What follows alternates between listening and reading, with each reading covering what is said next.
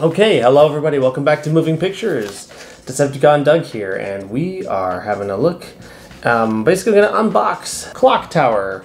I just figured since uh, I'm gonna be covering this on the Repro Review show, it'd be kind of cool to have a look at what's going on in here. This is from Flashback Entertainment, so uh, I have unboxed one of their games before. This is another complete in-box version that I decided to get. I don't normally go for complete in-box uh, stuff, but I felt that um, I don't know. I was just kind of taken by it.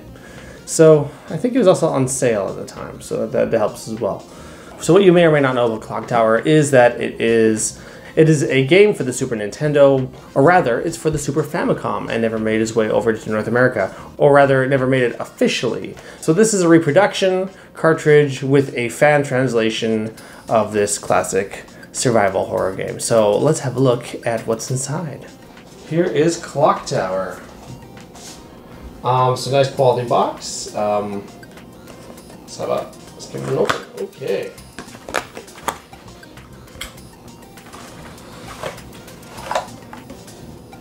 Okay.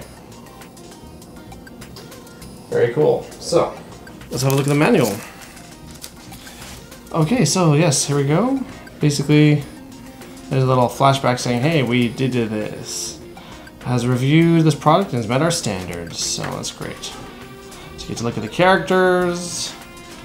Um, you know, the, oh, hello, look who's here. It's Rosa, being where she shouldn't be.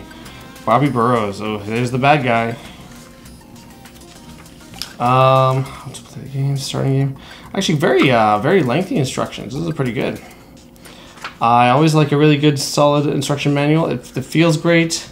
It looks great. okay, okay. Hold on a second. No eating my instructions. According to Rosa, it tastes great. So, uh, oh, even it even has a little bit of a comic book inside. So, I don't know uh, how much of that was in the original manual, I, I suspect. I mean, I, I, don't think this is an, an, original piece from Flashback, but nevertheless, including it in here is a, an excellent choice. So yeah, that's um, that actually uh, is a real big seller for me. That's amazing. I wholly approve of this. Now, Flashback always comes. They always send their stuff with posters, little posters, and I, you know, I'd love to hang them up but I never know what to do with them because I don't have the wall space. Oh, well, actually, hey, look at that. That's pretty cool. Earthbound Uncut. They, that's just advertising basically for another game they have, which is Earthbound, but like a more direct translation from Japan rather than anything that is was cut for the North American audience. So that's cool. And there's another one. Uh, of course, and one that is relevant to the game itself clock tower. That's uh, a nice little piece. I like it. Cool.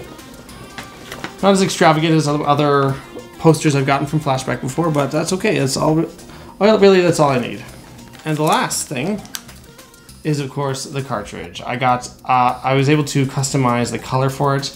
It is uh, all black, or maybe a dark steel kind of thing, but uh, very a little bit more something a little more ominous that I wanted. So I think that's pretty cool.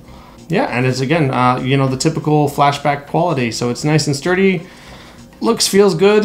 Um, I think it's awesome. There you have it. I know some flashback games have come with like stickers and stuff like that.